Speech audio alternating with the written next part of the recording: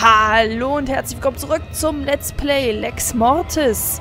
Wir waren zuletzt in der Fabrik angelangt und wir waren eigentlich schon weiter, aber ich muss das jetzt nochmal spielen, weil wir ja leider äh, geschnappt wurden. Ja, jetzt sehen wir wieder diesen hübschen Gesellen, der so ein bisschen aussieht wie so ein Schmetterling. Und es kam ein kleines Update raus für dieses Spiel, weshalb ich jetzt auch das gesamte, unseren gesamten Fortschritt im Grunde noch einmal spielen musste.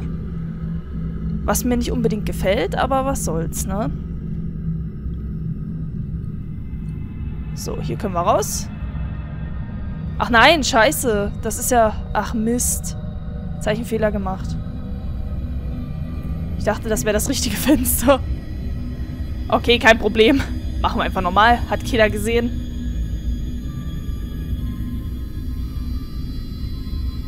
So, der ist aber ganz hübsch. Der schimmert so schön.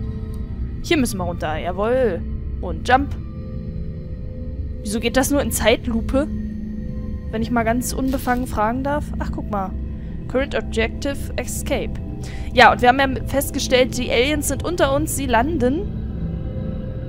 Ach nein, wir müssen ja warten, bis der wieder zurückgeht.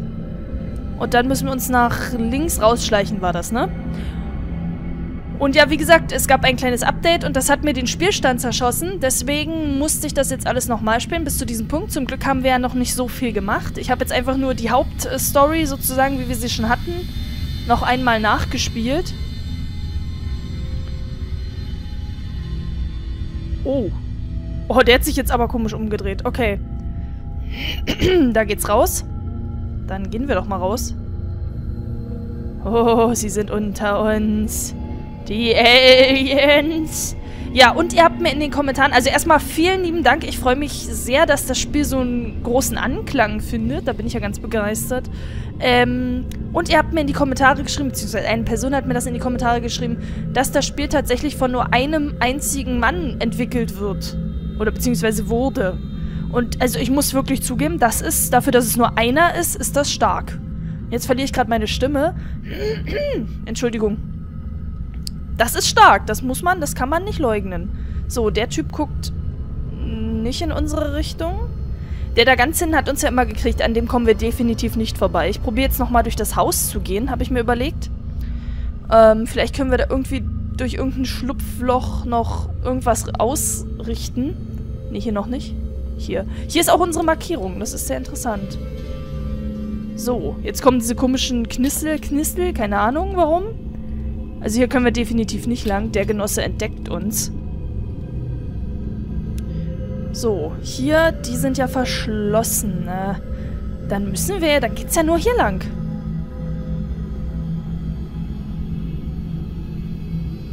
Dann geht es, ähm, da waren doch aber letzte Mal auch so ein Vieh, war doch da letzte Mal. Okay, das ist neu, das kenne ich nicht. Ähm, hallo? Ach, wir sind am... Da ist das Boot! Da ist unser Boot! My head hurt as hell. What did they done to me? And why I'm here? Oh, I remember one of those creatures hit me. Now I'm here. So, what the hell's going on? Ja, das können wir dir jetzt so genau gar nicht sagen, aber mir fällt gerade was ein. Ich habe was vergessen. Perhaps I just need to get back and check the house once more. It was dark last time. Was sag das denn? Some clue. One thing I know, I need to hurry up. I don't want to meet those freaks anymore. Okay. Okay, also er ist jetzt aufgewacht, weiß nicht so richtig, was passiert ist und wundert sich und stellt fest, er hat vielleicht im Haus etwas übersehen. Mann, ich habe irgendwie so eine kratzige Stimme gerade, es tut mir leid. so. Äh, ja, jetzt habe ich es ja wieder sehr geschickt gemacht, indem ich einfach vom Boot runterspringe. Aber ist egal, das Boot ist zumindest annähernd... Ja, guck mal, fliegende Fische! Fliegende Fische! Fliegende Fische! Guck mal auch mit was für einer geradlinigen Präzision und Schnelligkeit, die sich durchs Wasser bewegen. Naja. Also ich sage ja nicht, dass das jetzt unbedingt total schlecht ist oder so, aber das ist ganz schön verbuggt, das Spiel. Das kann man nicht leugnen. Und es ist ähm, eigentlich als fertig, ist es nicht als Early Access angegeben, ne? Eigentlich durften da jetzt gar keine Updates oder sowas mehr kommen, nur noch Patches höchstens, um irgendwas Kleineres zu fixen. Aber mittlerweile ist es schon interessant, wie sich diese, diese, ähm, diese, wie sagt man das? Hm, diese Erwartungshaltung der Spieler hat sich aber auch verändert mit diesem ganzen Early Access, ne? Man akzeptiert das mittlerweile, dass ähm, so ein Spiel wie das hier als fertig gezeigt wird im Steam und als fertig verkauft wird, aber trotzdem fehlerhaft ist. Jetzt mal hin oder her, ob das nur ein Typ macht oder ein ganzes Team, ne? Das ist ähm, sehr interessant und es ist halt ziemlich verbuggt. Das kann man nicht äh, leugnen. Natürlich ist es nicht schlimm, wenn Eichhörnchen durch einen Stein rennen oder wenn äh, Fische rumfliegen. Aber es wird ab dem Punkt irgendwie kacke, wenn ich im Leuchtturm, und das ist offscreen, ist mir das passiert, ich bin im Leuchtturm in die Wand reingebackt und bin nicht mehr rausgekommen. Und wenn man bis dahin schon einen Fortschritt hat, ist das natürlich blöd, ne? Aber da haben wir wenigstens was zu lachen, wenn die Eichhörnchen durch den Stein rennen. Deswegen ist es jetzt nicht ganz so dramatisch. Aber ich finde es sehr interessant halt, wie irgendwie alle sagen, ach, das ist so okay. Früher, also, ja, ich bin, ich bin jetzt nicht alt oder so, aber vielleicht ein bisschen älter als manche von euch. Früher hätte es das nicht gegeben, ne? Das ist, ähm, interessant eigentlich. Weiß nicht, wenn man früher in den Laden gegangen wäre und man hätte sich ein Spiel gekauft. Oh, hier sind Ratten! Und man hätte sich ein Spiel gekauft und dieses Spiel wäre völlig fehlerhaft. Da wäre man da hingegangen und hätte gesagt, nö, hier, kannst du wieder haben. Hm. Aber früher konnte man Spiele auch noch umtauschen. Da war das mit dem Raubkopieren noch nicht so schlimm. Obwohl ich mich erinnere, dass wir irgendwann mal ein, auch ein Computerspiel, was ich mir gekauft hatte, da war ich noch kleiner, äh, wollten wir zurückgeben. Und da gab es auch Spirenzien. Da haben die das im Laden, wollten sie nicht unbedingt machen weil schon damals die Raubkopien auf dem Vormarsch waren. Aber sie haben es dann doch gemacht, juhu. Und ich habe das jetzt nur erzählt, um euch ähm, diesen Weg hier ein wenig zu verschönern, damit ihr euch nicht so langweilt. Aber vielleicht habt ihr euch ja gelangweilt, wer weiß, wer weiß. Wenn ich hier meine alten Kamellen auspacke und meine Moralkeule schwinge. Obwohl das ja weniger mit Moral zu tun hat. Aber nichtsdestotrotz, ich finde es sehr hübsch gemacht. Es ist bloß, wie gesagt, diese Mischung aus unglaublich hübsch, wie das hier, finde ich sehr, sehr hübsch gemacht. Besonders das Licht halt. Ich finde das Licht klasse. Ähm, aber auch aus sehr billig halt, wenn man die Häuser sich anguckt und auch halt die Bugs dann leider wieder, ne? Da ist nicht sehr viel reingesteckt worden. Und ich habe echt das, ich habe das Benzin vergessen, ne? Ich hätte eigentlich nochmal mit dem Schlüssel, den wir gefunden haben, hätte ich eigentlich nochmal in den Keller gehen müssen. Das habe ich jetzt völlig vergessen. Vielleicht können wir das jetzt noch schnell machen. Ach, guck mal, Game saved. Geil. Explore the House. Ja, das machen wir gleich. Ich renne noch mal ganz kurz hier hin und probiere in den Keller zu kommen. Mal gucken, ob das geht. Ich hoffe es, dass wir das noch schnell machen können. Ähm, wo ist denn hier der Eingang? Ist hier nicht der Eingang gewesen? Hallo? Ah, diese schwarzen Wände sind aber auch, ey, echt sexy. Na gut. Dann untersuchen wir nochmal unser Haus. Also wenn ich mich jetzt ein paar Mal räusper, das tut mir leid. Ich habe irgendwie gerade ein paar stimmliche Herausforderungen. So, da sind wir ja wieder. Und jetzt ist mal hell. Das ist ja sehr, sehr angenehm. Und hier liegt Kotze auf dem Boden. Mensch, wer hat sich denn da erleichtert? Okay, prüfen wir mal die ganzen Schubladen. Wir haben ja nichts Besseres zu tun. Nenn erst die unterste, sonst sehen wir doch die unterste nicht mehr, wenn die in der Mitte offen ist. Mann, du bist so doof. So. Okay. Die rote Klecksfarbe ist immer noch da. Juhu.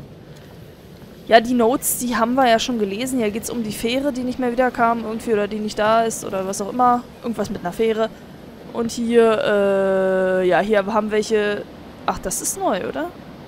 Tonight I watch these people... Okay, heute Nacht hat jemand beobachtet, also diese Leute, welche einen äh, Inselbewohner gekidnappt haben, die haben den auf eine Plattform mitgenommen und dann sind sie nach unten gefahren, in den Untergrund. Ach, und hier ist das Fenster, durch das wir springen konnten. Das habe ich gerade von außen gar nicht gesehen. Eieiei. Naja, hier stand da gestern Nacht. Da oben ist das Fass. Ich glaube, da können wir nicht lang. Kann das sein? Ja, das kennen wir schon. Das schockt mich jetzt auch nicht mehr unbedingt. Aber hier alles voll mit Blut. Also ganz ehrlich, wenn das das Haus meines Vaters wäre, ich würde einen Herzinfarkt kriegen, wenn das Bett voll mit Blut ist. Vielleicht müssen wir dem Blut folgen. So wie bei Outlast. Follow the blood. So, wir gucken mal, ob wir hier hoch können. Theoretisch müsste ich ja über das Fass rüberspringen können. Ja, kann ich. Ach, guck mal, und ich kann es sogar bewegen. Das ist cool. Hier ist überall Kotze. Das ist komische Weltraumkotze.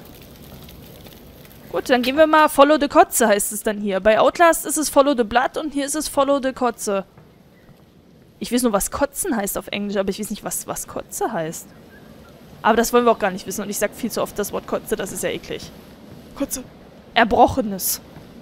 So, every single man who tried to leave the island has never returned. Uh, nobody knows... Uh, ja, ja. Ähm, die, da steht, irgendwas jagt uns. Jeder Mann, der versucht hat, diese Insel zu verlassen, ist niemals zurückgekehrt. Irgendwas jagt uns, bla bla. Hier ist wieder der Chuchu-Zug. Chuchu-Zug. Davon kriegen wir nie genug. Genau. Shamona. Für alle, die es kennen. Für alle, die es nicht kennen, ähm, ja. Ich bin nicht verrückt. Ich habe nur ganz viel Fantasie. So, hier sind wir. Sind wir hier durch... Nee, wieso liegen die Planken denn plötzlich hier? Wir sind doch eine Etage drüber durchgebrochen. Und jetzt äh, rutschen wir vielleicht gleich auf Erbrochenem aus. Wer weiß, wer weiß. Okay, hier können wir immer noch keine Schubladen öffnen und nix. Ach, vielleicht müssen wir wieder hoch in das Zimmer, wo wir halt, ähm, das letzte Mal bei unserem letzten Hausbesuch rausgeflogen sind. Das würde zumindest irgendwie Sinn machen, ne? Das würde Sinn machen. Also lassen wir es krachen. Ich habe eine Drachen.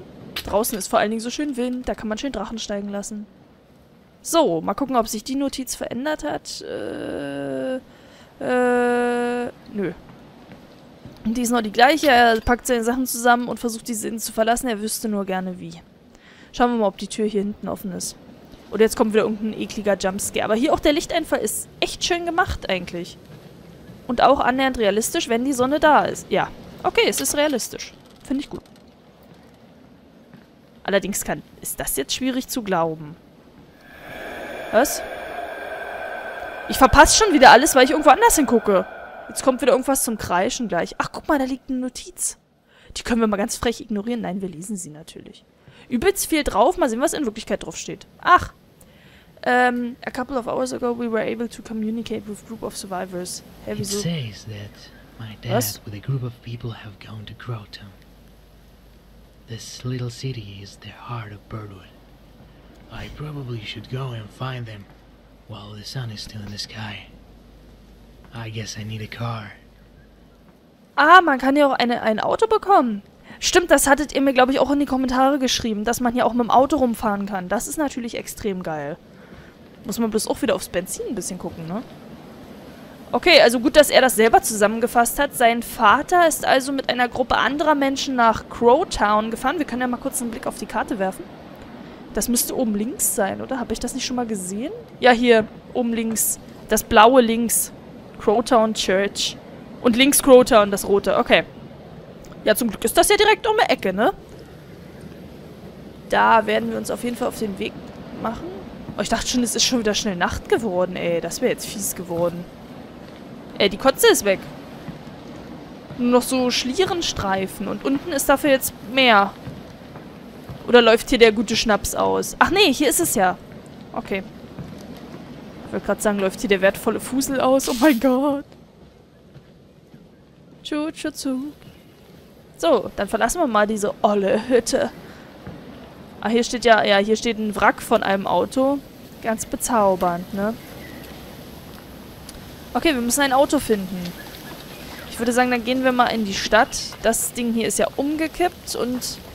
Obwohl, wir gehen mal, vielleicht ist es ja näher, als man denkt. Hier können wir definitiv nicht rein. Also ich bin jetzt keine Autoexpertin, aber ich glaube, mit dem Ding kann man nicht mehr fahren. So, gucken wir mal, ob die headbangenden Grashalmen noch da sind. Ja, sie sind noch da, Gott sei Dank. Ich hatte schon Angst, dass die headbangenden Grashalme jetzt weggepatcht wurden. Und wir uns jetzt selber irgendwie ein bisschen die Zeit vertreiben müssen. Ohne, dass die dazu wild mit den Köpfen wackeln. Ich laufe jetzt einfach mal diesen Weg lang. Ich weiß gar nicht, wo es hier hingeht. Ich glaube, wir gehen jetzt weiter nach Norden. Aber ich will gerne wissen, wenn es einen Weg gibt, muss es auch ein, ein Ziel geben, was man mit diesem Weg erreichen kann. Und genau das möchte ich jetzt sehen. Ach, guck mal, der nördliche Wald. Der Nordwald. Ach, wir können ja mal speichern. Jo. Ich hoffe nur, wie gesagt, dass das mit den Updates und so nicht öfter kommt, weil sonst wäre das echt nicht gut. Für uns.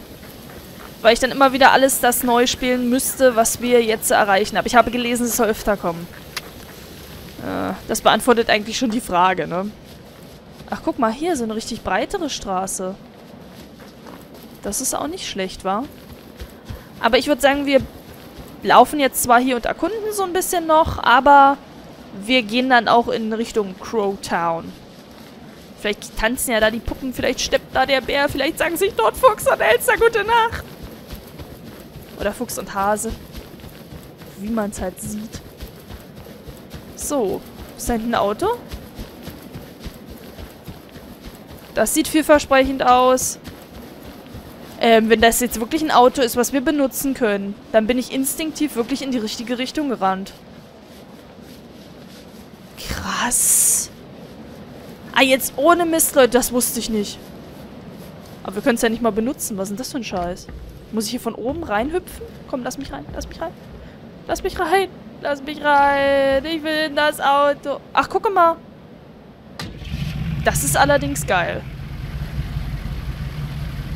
Und wenn ich damit jetzt ein Salto mache und das Teil dann auf dem, auf dem Kopf liegt,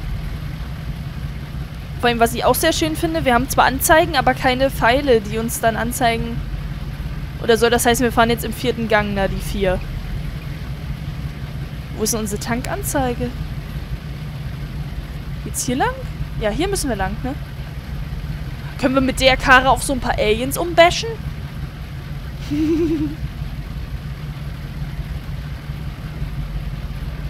so ein bisschen wie Far Cry, ne? Und vielleicht das Gefühl, die Straße ist ein bisschen zu eng für unsere Karre. Aber was soll's. Meine Autofahrkünste und ich sehe gar nichts. Ah! Jetzt springt uns doch bestimmt gleich so ein langes Elend vor die Karre. Ach scheiße, wo ist denn hier der...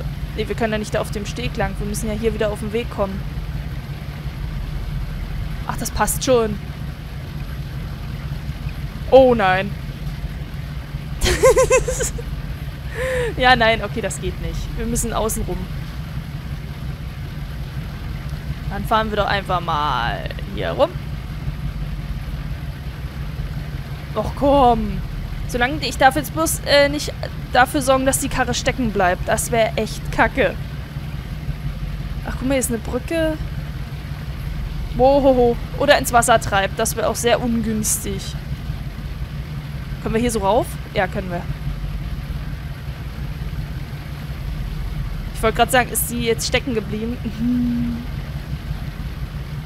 Okay, nee, nee, nee. Bevor wir hier wirklich stecken bleiben, fahre ich mal lieber zurück und probiere irgendwie so dahin zu kommen. Oh, hier ist ja ein Weg. Hier ist ja immerhin ein richtiger Weg. Moment, ich muss mal aussteigen. Ich muss mal gucken, wo wir lang fahren können. Hm. Hm, ja, eigentlich müssen wir da hinten lang. Aber das ist ja... Da ist ja... Da komme ich ja nicht hoch. Wie soll ich denn das machen? Oder können wir irgendwie an der Seite den Berg hochfahren?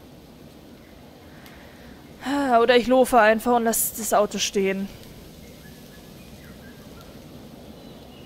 Er hat ja gesagt, wir müssen ein Auto finden, aber vielleicht ähm, ist es ja egal. Also, ich glaube mal, die...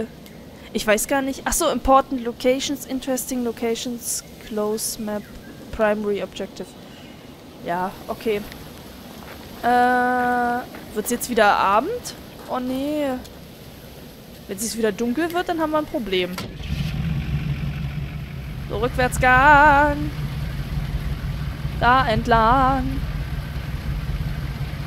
Mit dem Rückwärtsgang. Uhu. Schubidu. Aber da komme ich doch so gar nicht hoch hier. Wie soll ich denn das machen? Vielleicht hätte es hinten eine Abkürzung gegeben. Ich komme hier nicht hoch. Und ich traue mich auch ehrlich gesagt nicht richtig, das zu versuchen. Weil nicht, dass wir dann echt fies stecken bleiben. Ja, okay. Nee, das wird nichts. Das wird nichts. Ich lasse das Auto hier stehen. Ich lasse das Auto hier stehen. Wunderschön. So, und wie es dann weitergeht, oh mein Gott, die Folge ist zu Ende. Wie es weitergeht, das seht ihr im nächsten Part. Dankeschön fürs Zuschauen und bis zum nächsten Mal. Tschüss.